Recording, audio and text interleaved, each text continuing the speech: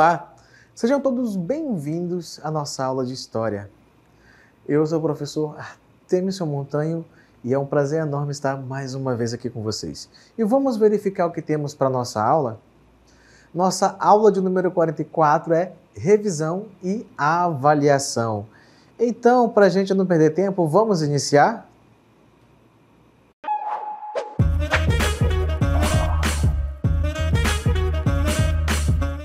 Então, meus queridos e queridas, vamos retomar um pouco a respeito do que verificamos na nossa unidade 4, alguns conteúdos que foram selecionados especialmente para a nossa aula de revisão.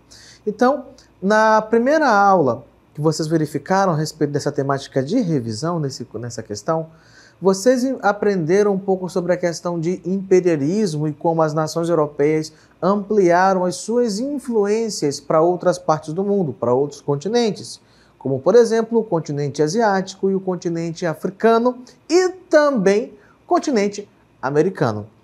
Nesse momento, nós vamos verificar quais foram algumas das principais consequências dessa expansão imperialista em algumas partes do mundo que sofreram com essas questões, tá bom?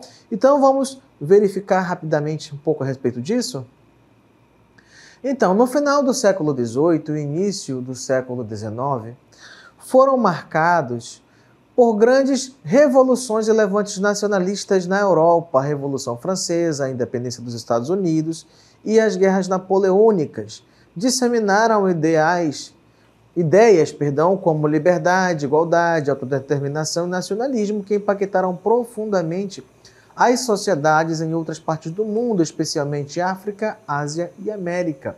Então você observa que aquele movimento inicial que a gente viu lá no começo do nosso componente curricular sobre as revoluções europeias que aconteceram principalmente a partir do surgimento das ideias do iluminismo, do naturalismo, influenciando a, a eclosão de movimentos na Inglaterra, como por exemplo a Revolução Gloriosa, a Revolução Puritana, que a partir dali a gente começou a ver a queda do, do regime absolutista, né, do antigo regime, da monarquia absolutista, isso não ficou detido ali apenas na Inglaterra, mas foi para outras partes do mundo. Aquilo tudo se expandiu, influenciando os demais movimentos de autonomia, por libertação, por independência que viriam na sequência. Ou seja, a semente desses processos de independência começam a surgir, começam a germinar com as primeiras revoluções europeias das quais a gente citou principalmente como início de tudo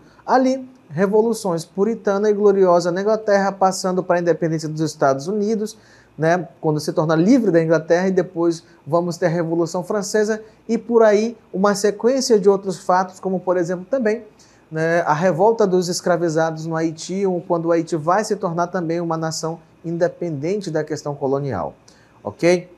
Mas tudo isso vão ter impactos significativos sobre outras nações e outros continentes, como eu já citei para vocês. A exemplo aqui, ó, do nosso continente mostrado aqui para a gente, não do nosso, mas do continente africano, não é? Que lembra, África é continente, não é país, comporta uma centena de países, mas que, mesmo sendo um continente tão grande, vai sofrer com a questão do expansionismo imperialista das nações europeias. E por conta disso, nós vamos começar a verificar o surgimento de diversos movimentos nacionalistas, ou seja, movimentos anticoloniais que lutavam contra esse sistema de opressão. Então vamos lá verificar um pouco sobre esses impactos na África. Movimento anticolonial é uma das, das questões que surge a partir desses ideais que se disseminaram pelo mundo, da questão do iluminismo, questão do naturalismo, e a partir das revoluções que se iniciaram também ali no século XVIII. As ideias de liberdade e autodeterminação inspiraram movimentos anticoloniais em todo o continente africano. Um exemplo notável é a luta pela independência da Argélia contra a França, que durou de 1954 a 1962. Apesar da forte pressão francesa, os argelinos finalmente conquistaram sua independência após uma guerra sangrenta. O que, é que nós vamos ter após isso aí? Mais movimentos surgindo em outras partes do mundo também, ok? Então, por mais que se comecem movimentos anticoloniais, movimentos nacionalistas, e mesmo que esses países consigam sua independência, restam desafios que também têm que ser superados com a saída dos seus exploradores, né? dos, seus, dos seus opressores. Como, por exemplo, os desafios que a gente vai ver aqui na sequência, que é um deles, o desafio do processo de unificação, onde a gente vai ver que, por conta da criação de fronteiras artificiais, de nações artificiais que dividiram territórios, era necessário se pensar uma nova maneira de reorganização geográfica desses, desses, desses continentes. Então, a criação de nações artificiais baseadas em fronteiras coloniais, ignorando as divisões étnicas e linguísticas, gerou conflitos e dificultou a unificação nacional em diversos países africanos. Um exemplo é a Nigéria, onde a coexistência de mais de 250 grupos étnicos diferentes gerou tensões e conflitos separatistas. E depois dos desafios de unificação, qual é o próximo desafio que a gente vai verificar? Um deles que a gente vai verificar vai ser principalmente dentro da, ainda do continente africano, na África do Sul, vai ser a herança cultural deixada pelo governo ali, né, pelo governo de brancos, que vai ser o chamado apartheid, que vai ser uma política social ali que colocava o racismo como quase praticamente a única forma de existência. Então nós vamos ter locais que são delimitados onde apenas pessoas brancas podem circular e pessoas negras são proibidas bairros exclusivos afastados dos centros urbanos para quê? Para que apenas negros habitem afastados das pessoas brancas. Então aqui a gente trouxe uma ilustração do que, que era esse apartheid, como aqui nesse, nesse banco escrito, whites only, ou seja, somente brancos. Mas, claro, que a partir do surgimento desses movimentos nacionalistas por autonomia, surgirão nomes importantes que começarão a tentar mudar essa situação, como, por exemplo, na questão do apartheid dentro da África do Sul, a gente vai ver o surgimento de um grande nome, que vai ser o Nelson Mandela, que inclusive existem filmes sobre o Nelson Mandela e o processo de luta dele, que inclusive por lutar contra essa opressão, contra o racismo, contra o apartheid, vai passar muitos anos de sua vida preso até conseguir a sua liberdade já, já na sua fase mais idosa, já vai sair velho da cadeia, mas mesmo assim continuou lutando por esses ideais de liberdade e de independência e, claro, pelo fim do racismo dentro da África do Sul. Então, será que não é possível conciliarmos pessoas de cores diferentes no mesmo espaço, convivendo bem? Eu acredito que seja. E você, o que pensa a respeito disso? Além disso, vamos ter também impactos culturais duradouros, inclusive dentro dessas localidades. Não é? Então, a imposição da cultura europeia pelas potências coloniais resultou na perda de identidades e tradições africanas. Na África do Sul, por exemplo, o regime do apartheid imposto pelos colonizadores holandeses e britânicos segregou a população negra e promoveu a assimilação cultural forçada. E o que é uma assimilação cultural forçada? Quer dizer que os negros foram forçados, né? os africanos foram forçados a aderir ao modo de vida, à linguagem, à questão de vestimentas, todas de acordo com o seu colonizador, abandonando suas práticas e vestimentas tradicionais. Tinham que se adaptar ao que era imposto pelo seu colonizador. E o apartheid, a gente acabou de conversar, é esse regime político ali de segregação racial, onde negros e brancos não frequentam o mesmo espaço. Ok? Então, são alguns desses impactos que nós, que nós verificamos agora que aconteceram dentro da África. E na Ásia, o que, é que nós vamos ter de importante a respeito desses impactos a partir dessa expansão imperialista dos europeus? Nós vamos ter, claro, a partir dessa, dessa questão de opressão, o surgimento também de movimentos anticolonialistas, ou seja, os movimentos nacionalistas em prol do processo de independência dessas nações, tal qual Índia vai ser um dos grandes exemplos. Então, as ideias nacionalistas e anticoloniais ganharam força na Ásia, impulsionando movimentos de independência na Índia, China, Japão e outros países. Um dos exemplos mais marcantes é o movimento liderado por Mahatma Gandhi, Na Índia, que através da resistência pacífica conseguiu conquistar a independência do domínio britânico em 1947. Antes de a gente falar um pouco mais sobre Gandhi, vamos trazer aqui o nosso mapa, vamos relembrar a questão da Índia ali, que anteriormente Índia e Paquistão eram apenas uma nação, era um único povo ali sob o domínio de quem? Da Inglaterra.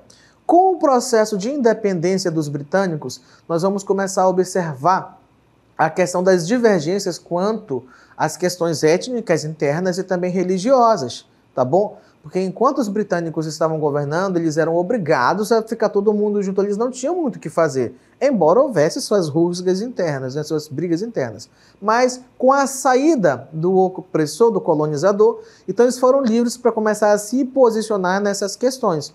Então é por isso que depois do processo de, de descolonização, a gente vai ter essa grande área sendo dividida em Índia e Paquistão ali, tá bom? Onde o Paquistão ali em cima tá de amarelo e nessa cor mais ocre aqui nós temos a Índia. Porque os indianos ali são as pessoas geralmente ligadas à questão da, da religião hindu, dos brahmanes e tudo mais, não é? Das castas sociais.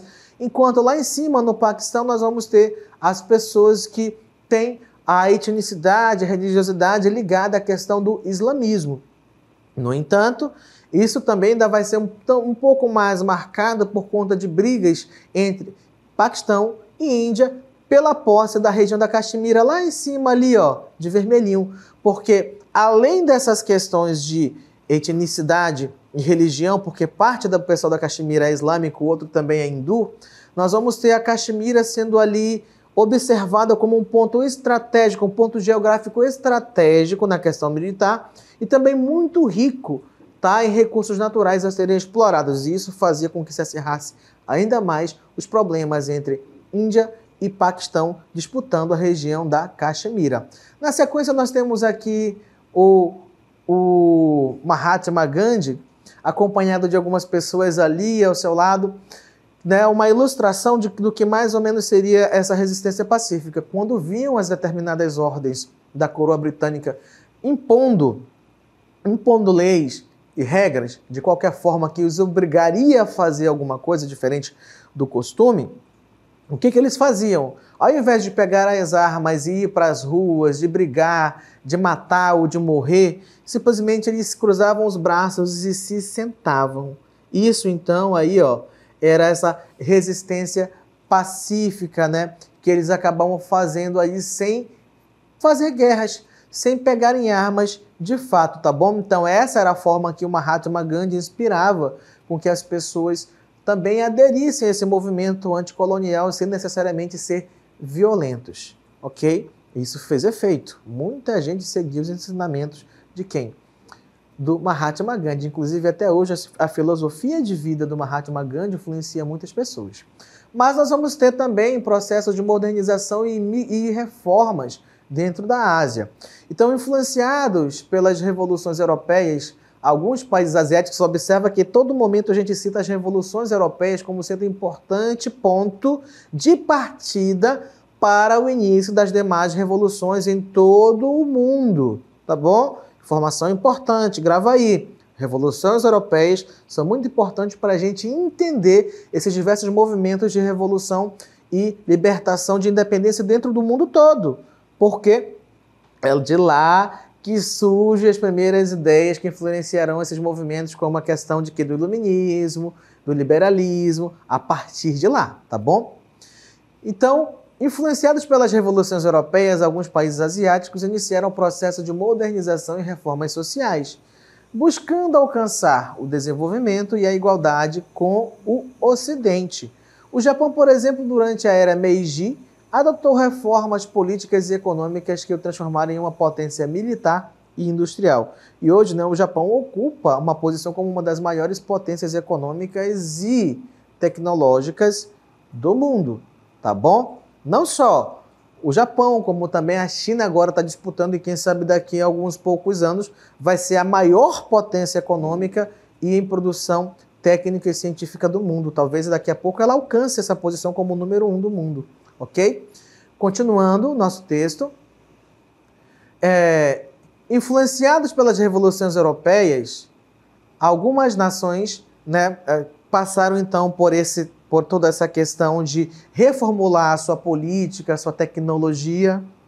Tá bom? Então, vai ser importante para elas que elas tenham essas questões ali todo o tempo sendo discutidas e renovadas. Uhum. Mas e os conflitos nacionalistas? O que, que vai acontecer com eles, a, a partir deles?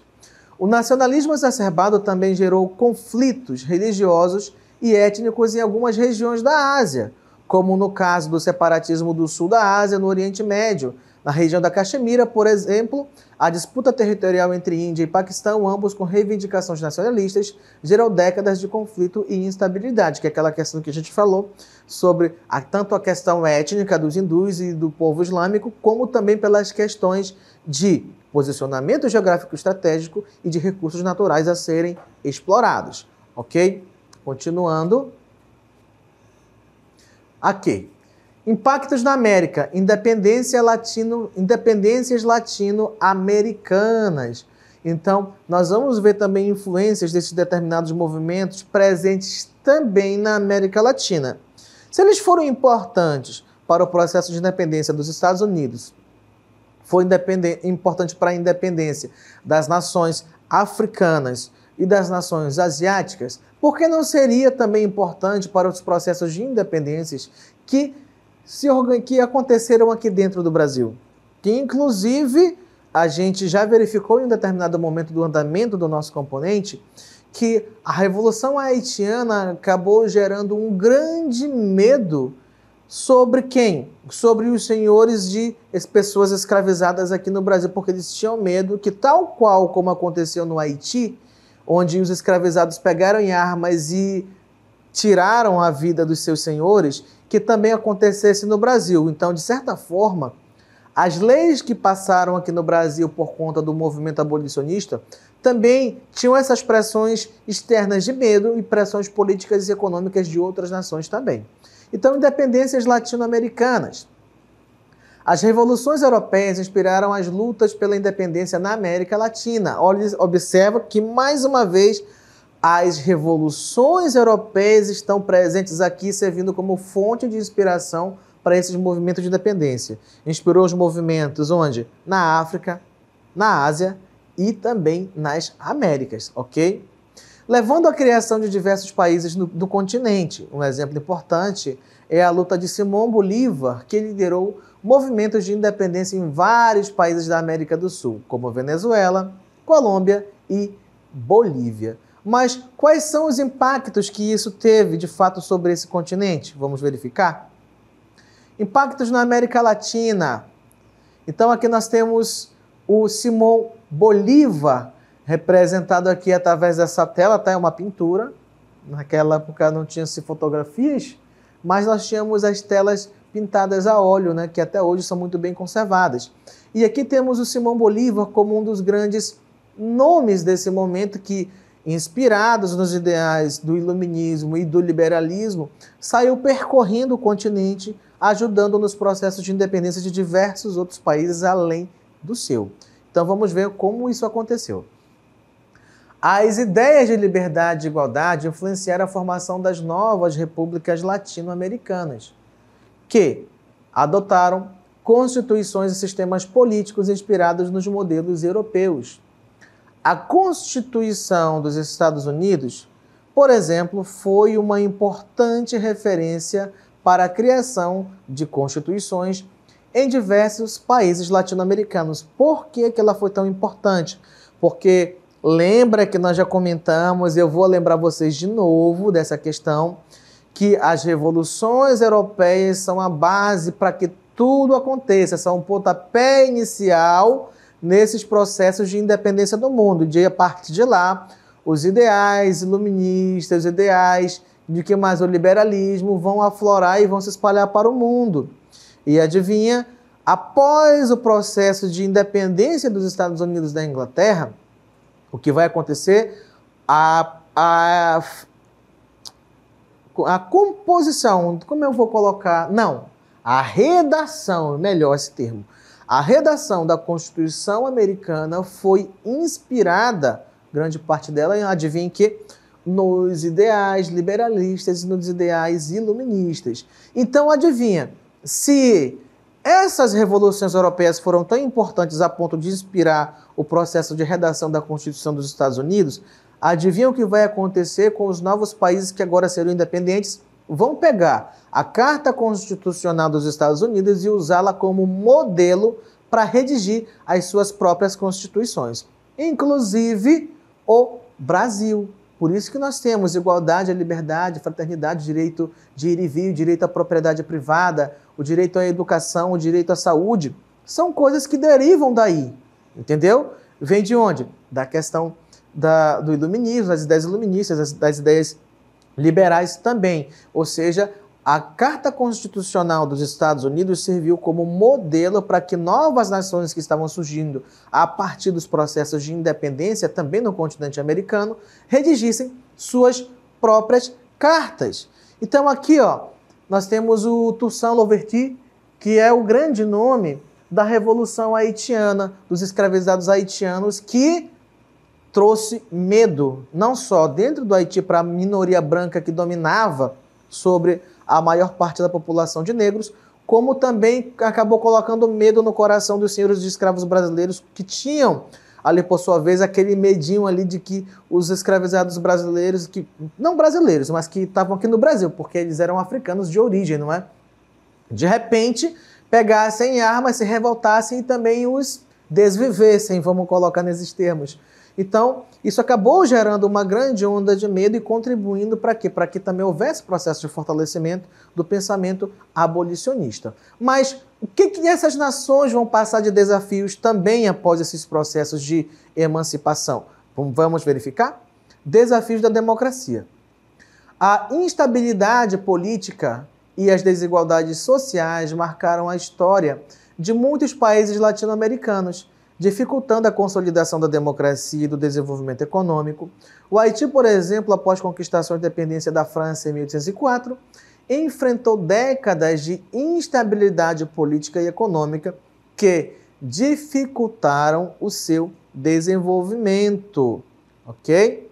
Então aqui nós temos novamente uma imagem do continente americano, tá? Aqui em cima nós temos a América do Norte, Central, e aqui embaixo a América do Sul, que é justamente onde nós estamos situados dentro das Américas, do continente americano. Então, aqui nós, da chamada América Latina, também sofremos, né? Não vou colocar nesse termo de sofremos, mas nós fomos impactados, não só nós aqui, como também o povo daqui de cima, fomos seriamente impactados pelo desenvolvimento das ideias do iluminismo e do liberalismo a partir de que, acredito que você já sabe, a partir das revoluções europeias que ocorreram ali no século XVIII, né? A Revolução Puritana, a Revolução Gloriosa, depois temos a Revolução Francesa dentro da Europa. Nas Américas a gente vai ter a independência dos Estados Unidos, depois nós vamos ter a Revolução Haitiana, por aí vai. Diversos movimentos que se interligam principalmente por conta dos ideais que compartilhavam, ok? E para a gente concluir, o que, que a gente vai verificar aqui? Vamos ver?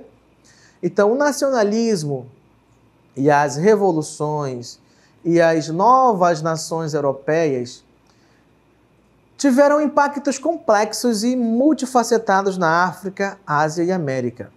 Apesar de inspirar movimentos de independência e reformas sociais, esses processos também geraram desafios como a fragmentação territorial, os conflitos étnicos e religiosos, a dificuldade de consolidação da democracia e o desenvolvimento em muitos países. Observa que nós estamos falando aí, ó, volta lá no nosso texto rapidamente, dos principais problemas que essas nações enfrentaram após seu processo de emancipação. Olha lá de novo, geraram desafios como fragmentação territorial, então o processo de unificação tornou-se complicado por conta das fronteiras artificiais que foram criadas. Os conflitos étnicos e religiosos, ou seja, como é exemplo do que a gente viu ali na Índia com o Paquistão e a Índia disputando a região da Caxemira e a questão do hinduísmo e do islamismo também. E a consolidação da democracia. Por quê? Porque muitos desses países viviam num sistema viciado de corrupção. Então, uma vez que as pessoas que estavam no poder estavam viciadas em serem corruptas, é, se tornava difícil se estabelecer uma democracia que de fato lutasse pelos direitos do povo. Ok, meus queridos? E aqui temos novamente os três continentes que nós verificamos nessas consequências e os impactos que sofreram a partir do expansionismo imperialista europeu, o continente americano, o continente africano e o continente asiático. Então, meus queridos, essa foi a nossa aula.